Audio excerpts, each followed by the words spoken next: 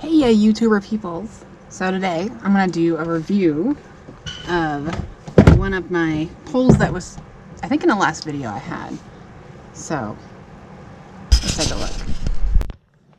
So this is my Doca pole. I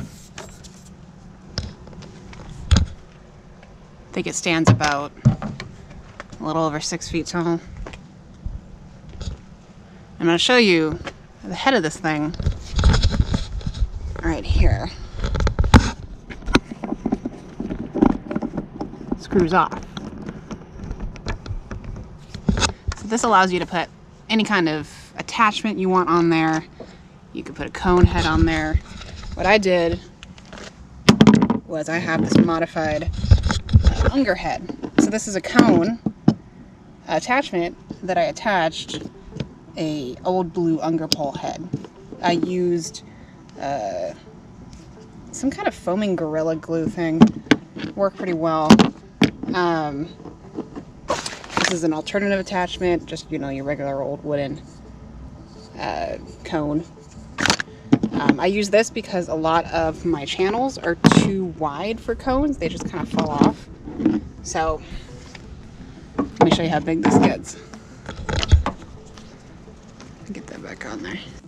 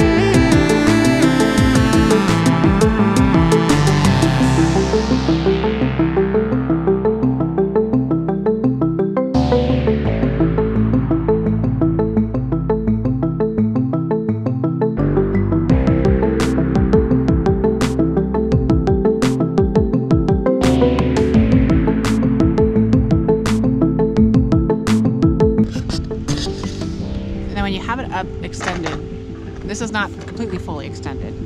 As you can see, it's pretty flex. So what I do to avoid too much of a flex is to extend it quarter of a way, half a way, and full extension at the very top. And that avoids the super flex that you get from this pole.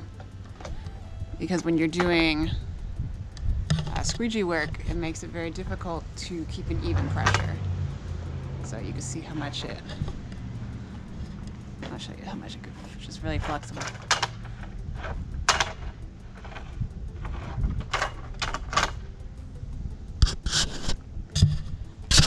It was so, I don't know, just, I guess manufacturer wise, it just wasn't pre-lubed. so gave it a little help here. And the, uh, yeah, so the clamps needed a little work out of the box. Um, just to, to open and close it much easier. Um, I've been able to work pretty rough with this, so I haven't worried about these breaking.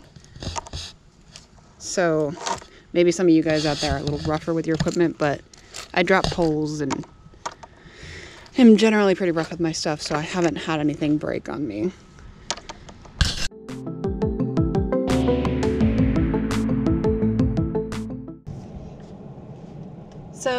I would give this pole a rating, I'd probably give it a 3.5 out of 5. It's not a bad pole. It's, I don't think it's initially designed for window cleaning. It's, I think it's advertised as a painter's pole.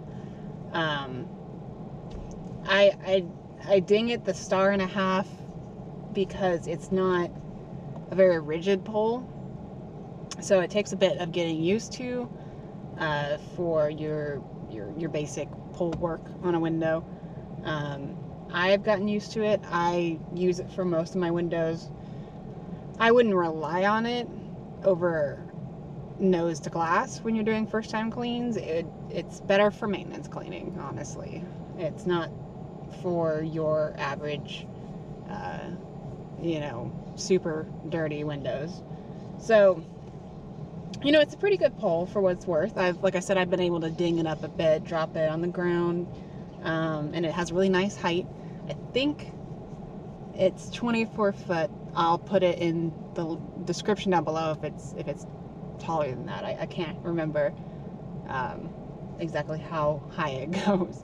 Uh, I know this goes up to, up to a two-story house, so it's got to be at least 24 feet. Um, so, I mean, I recommend it. Um, it does need modifications, and like I said, it does take some getting used to. So, uh, so it's not bad for a uh, telescopic pole replacement. So that's my review on it, and that's my review on the Doca pole. Uh, just let me know what you think in the comments, and thanks for watching.